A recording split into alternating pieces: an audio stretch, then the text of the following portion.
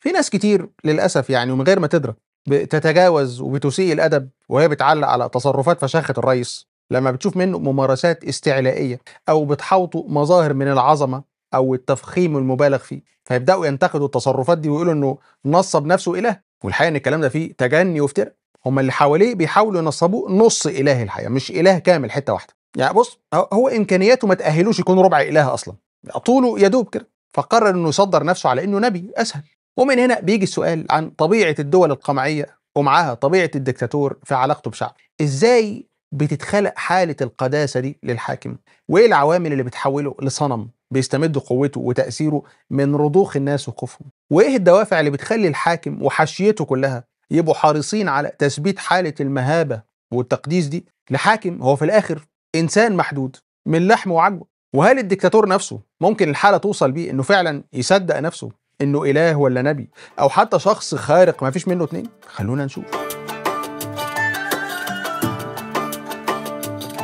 من بداية البشرية قبل ما يبقى فيه دول وحدود وحكومات وقوانين ودساتير وبتاع كانت المجتمعات قايمة على شكل القبائل والجماعات. وعشان يتظبط إيقاع الحياة جوه الجماعة أو القبيلة أو بعدها الممالك والإمبراطوريات وكل أنواع الحضارات القديمة كان لابد من وجود حاكم يسيطر ويحكم ما بين الأفراد. وبيترسم من خلاله شكل وطبيعة العيشة جوه الجماعة وتتنظم عن طريقه حياتهم في كل أمورهم بقى من أكل وشرب وشغل واستقرار وأمن وسلام. ولأن البشرية ما كانتش لسه وصلت للتطور اللي بيعيشه العالم دلوقتي. فضل العالم برضه ما يعرفش أشكال الحكم وطبيعة العلاقة بين الشعب والأنظمة اللي دخل عليها كتير من التغيير والتطوير من بدايات القرن ال17 لحد العصر اللي إحنا فيه.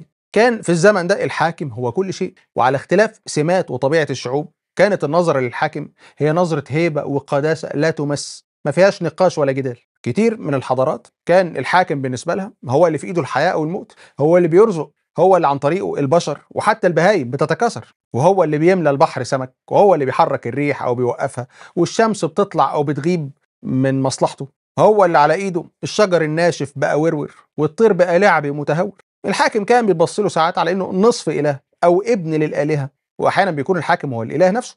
الهيبة والقداسة دي يعني في كتير من الحالات كانت بتصيب الحاكم نفسه. فتعجبه الحكاية بقى ويدعي الألوهية عادي جدا. وغيره كان المناخ اللي حواليه بيخليه حرفيا يصدق نفسه إنه إله فعلا. الحاكم كان هو الملجأ لما الخير يقل أو تحصل كارثة أو المطر يتأخر. الحاكم كان هو كل حاجة وفي إيده كل مصالح الشعب بصفته إله أو شبه إله. المهم إن في حاجة خارقة للطبيعة في الموضوع. لدرجة إن الشعوب من كتر ما بيستقر في عقلها الفكرة دي ما كانوش بيغلبوا برضه لما بيكتشفوا إن الإله ده بيصيبوا اللي بيصيب البشر عادي جدا. ممكن يمرض أو يموت أو يتقتل في حرب ولا انقلاب على حكمه مثلا. هنا بقى الرصيد المتخزن من الجهل والعبودية للحاكم بيتحايل على الموقف ده. لما بتحصل كارثة طبيعية مثلا أو يتفشى وباء أو مجاعة هنا بيتحول غياب الحاكم للعنة. وإن اللي حصل ده سببه غيابه أو بسبب الإساءة اللي حصلت ليه. يعني غيابه لعب في نظام الكون نفسه. يعني من الآخر إحنا بنتكلم عن تاريخ بدائي وثقافات وعادات وثنية بتضفي على الحاكم صفات أعلى وأرقى من باقي الناس لحد ما وصلنا لأنظمة الحكم في القرن العشرين والواحد والعشرين. أو بمعنى أصح لو هنتكلم عننا يعني هنقول ديكتاتوريات القرن العشرين. حكامنا الجدد بقى وصلوا للحكم في وقت اتغير فيه النظام العالمي تماما. وأصبح فيه شكل جديد للجماعة أو القبيلة وبقى فيه مساحة جغرافية اسمها دولة والظروف نفسها اتغيرت واتغيرت معاها الثقافات ومستوى الوعي والتعليم واتغيرت تماما نمطية النظرة الوثنية النظرة اللي كلها مهابة وتقديس للحاكم. هنا بقى ظهرت المشكلة بالنسبة للديكتاتور وأدوات الديكتاتور في السلطة. ولو هنكون محددين عشان نقرب الفكرة يعني مش هنلاقي نموذج أوضح من ممارسات السيسي ونظامه ومؤيديه. مشكلة الناس دي كلها بتتلخص في رغبتهم ورغبة السيسي نفسه. في إن الحالة الوثنية دي في علاقة الحاكم بالشعب هي اللي تفضل سايدة وهي اللي تبقى منهج وأسلوب حياة للدولة كلها حاكم وشعب ومسؤولين. الرئيس اللي عايش في دور ظل الإله وريث العروش القديمة وسليل الأسرة الفرعونية البلحية الزعيم اللي من حقه يتساب لوحده ويتمخطر بزهو وعظمة يستقبل أجداده الملوك في احتفال مهيب ومتكلف مليارات. يا حلوة بلحايا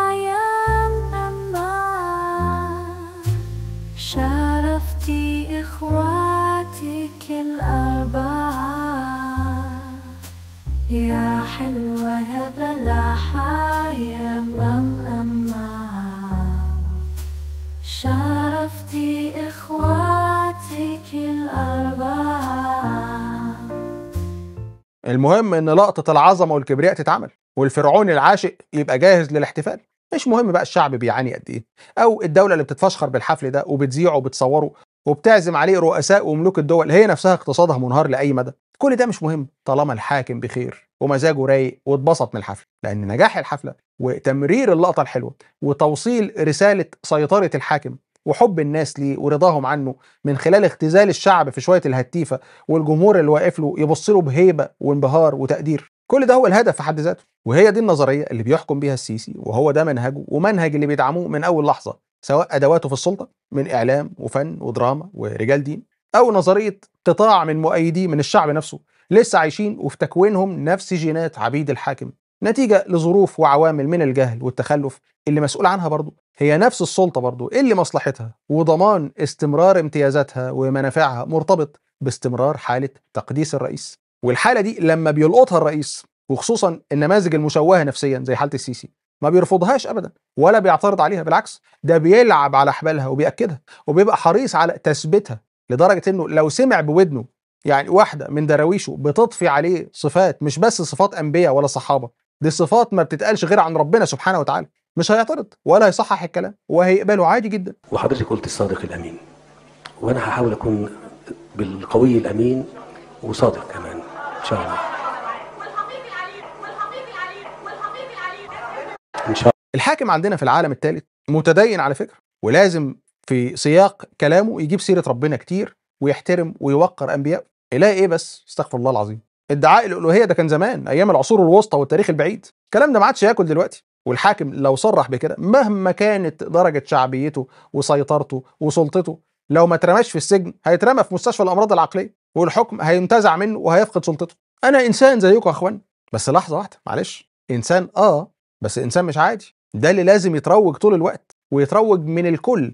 الحاشية بكل فروعها هتعمل كده. ومفيش مانع إن الحاكم بنفسه يوضح ده. ربنا خلقني طبيب أوصف. طبيب أوصف الحالة ودي نعمه من ربنا اداها اسمعوها مني لأن حتى هم دلوقتي كل الدنيا بيقول لك لا اسمعوه. مين الدنيا؟ خبراء المخابرات والسياسيين والإعلاميين وكبار الفلاسفة لو حبيت. يا بلحة شرفتي إخواتك الأربعة. يا حلوة يا بلح يا ماما شرفتي إخواتك الأربعة.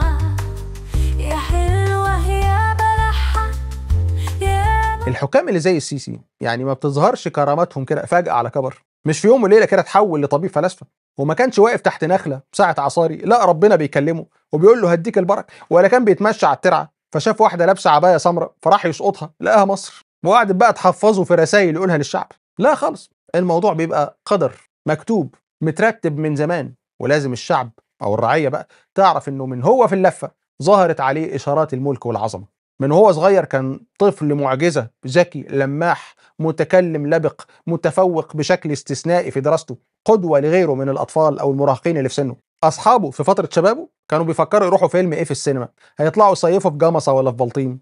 لكن هو حاجة تانية كان بيفكر في مصر ومستقبلها. كان بيدعي ربنا إنه يديله فلوس مش عشان يجيب جزمة جديدة ولا حزام يشدله البنطلون عشان يعرف يرفعه لحد سرته. لا ده كان عشان يغني الناس. كان بيطلب من ربنا مليار دولار في وقت كان الجنيه عامل له 4 دولار.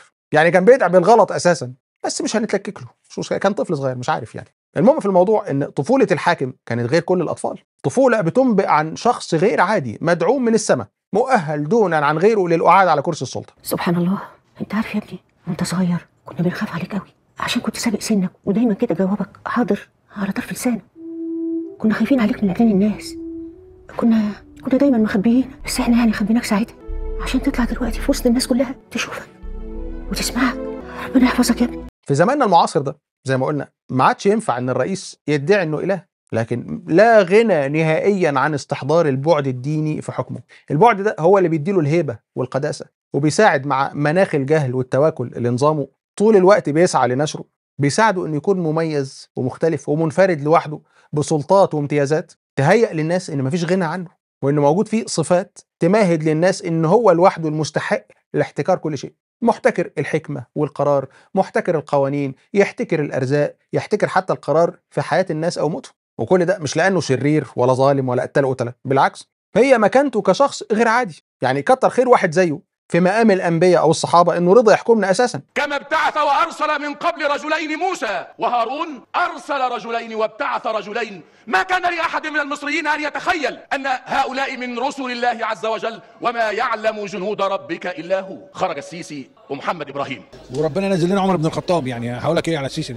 فتح السيسي ده عمر بن الخطاب يعني أنت فاهم قصدي إيه؟ إنه يجي ينزل ويحس بالشعب. كل دي سلوكيات ومظاهر وأفكار بتكون نتائجها فرض صورة للرئيس في نفوس الناس كأنه خليفة أو إمبراطور أو سليل عيلة ملكية. حكمه وتسلطه على الناس وقعدته على الكرسي هي قدر مكتوب إرادة إلهية وبتتنفذ. بصرف النظر عن إن في حاجة كده اسمها انتخابات حصلت ولو بالكذب حتى أو إن الزمن متغير وأنظمة الحكم اتغيرت والمناصب اللي زي كده بقت سباق انتخابي ومرشحين ولو بالتمثيل دخلوا منافسة مع الحاكم ظل الإله على الأرض ده. كل ده أساسا هو اعتراف واضح وصريح. بأن كل الهري والفرهدة والصناديق والطوابير كل ده عند الدكتاتور ودراويشه سواء دراويش السذج أو الدراويش الصيع كل ده بالنسبة لهم بلح. وفكرتهم عن الحاكم المقدس ده متعارضة أصلا مع فكرة إن حد ينافسه أو بمعنى أصح ينازعه بقى في الملك. كل الكلام ده زي ما هو وسيلة للنفاق والتملق والتقرب للحاكم بأمره ده. ولي الأمر اللي بإيده كل شيء واللي رضاه بالانسحاق والطاعة دي بيفتح لمؤيدينه أبواب المصلحة والامتيازات والنفوذ. هو برضه وسيلة لإقناع باقي الناس بقدسيته وتميزه. ساعتها بيبقى سهل جدا إن اللي ضده يبقى ضد الله والوطن يبقى كافر يعني واللي يكرهه أو يعارضه يبقى بيعارض إرادة ربنا اللي اصطفاه للحكم محدش من البشر اصطفاه ولا اختاره دونا عن غيره. حد يكون عنده رفاهية إنه يختار شخص تاني غير اللي السما شاورت عليه واللي اتوعد بالحكم من صغره وعرش مصر محجوز له وهو سايب إيديه. ومن المنطق ده بنلاقي الحاكم بيصدق نفسه فعلا أو حتى لو مش مصدق فهو بيسعى لترسيخ الفكرة دي في العقول. طالما شايف إن المجال يسمح بحالة الدروشة اللي هتوصله للسلطة فيبقى ليه لأ. أيوه أنا الفرعون الموعود وههريكوا دروشة وادعاء نبوة وهسمعكم بمناسبة وبدون مناسبة دعاء سيدنا يوسف. ما فيش حد أحسن من حد. هو حلم وجات له رؤية وبقى في إيده خزاين مصر. وأنا برضه اتهريت رؤى وأحلام. اعترضوا بقى على إرادة ربنا. يعني يعني مثلا مثلا شفت في المنام من سنين طويلة جدا إن أنا آه، رافع سيف مكتوب عليه لا إله إلا الله باللون الأحمر. ده من 35 سنة. لا إله إلا الله لون أحمر. باللون الأحمر. نعم. بسيف. آه، إن أنا في ايدي ساعة آه، آه، عليها نجمة خضراء ضخمة جدا. آه، أوميجا. والناس بتسألني بيقول لي أنت إشمعنى أنت اللي معاك الساعة دي؟ فقلت لهم الساعة دي باسمي هي أوميجا وأنا عبد الفتاح يعني رحت؟ حاطط الأوميجا مع العالمية مع عبد الفتاح مش أنا. اللي تفسير المنام مثلا يعني. منام تالت إن يتقال لي هنديك اللي ما لحد. والخلاصة إننا في الحالتين سواء بنتعامل مع مختل حقيقي طريقته هي الدروشة وأسلوب خطابه وتعاملاته مع الشعب هو إنه مصدق إنه متميز وخارق للطبيعة. أو سواء بنتعامل مع دجال نصاب منهجه الاستعباط وادعاء النبوة لتحقيق أغراضه وأغراض عصابته في الحكم والسيطرة. في النهاية لا يصح إلا الصحيح والزمن اتغير ومنافذ الوعي والثقافة اتعددت والناس ما بقتش مجموعة من الأطفال. أما السذج المغيبين بصفاتهم يعني إكسير الحياة ومخزون البنزين الاستراتيجي اللي بيحرقه الدكتاتور عشان حكمه يدوم خلاص بيقلوا وبيفوقوا يوم بعد يوم. وما عادش بياكل معاهم الاستهبال وتليط الكذب والغش بواجهه أخلاقية ونورانية. وأخيرا النماذج اللي زي السيسي دي مهما حاولوا يغطوا على جرائمهم وفسادهم باستدعاء العظمة والتميز عن باقي البشر سبحان الله التجربة أثبتت إن المهابة والشموخ الكذاب اللي كان بياكل زمان مع شعوب العصر الحجري أصبح دلوقتي كنز استراتيجي لل comics وال memes والنكت. وإن كل ديكتاتور غبي لو أمراض السلطة وجنون العظمة تملكوا منه وصدق فعلا إنه متميز عن البشر واتكونت عنده قناعة إن المجتمع محتاج لوجوده الدايم حتى لو الظروف ساعدته والعمر طال بيه. هيقعد قد إيه يعني؟ هيروح فين من الشيخوخة والعجز؟ هيفضل برضه في نظر الناس مدعي ونصاب وهتبقى وجهة نظر الناس فيه إنه مجرد شخص تافه بيدور دايما عن الأغلى الأكبر الأفخم كهدف أساسي يداري وراه دونيته وضعف شخصيته وشعوره الدايم بالقلق على هيبته ومركزه فتكون النتيجة إنه يتحول لمسخ ونكتة على كل لسان ونشوفكم على خير إن شاء الله.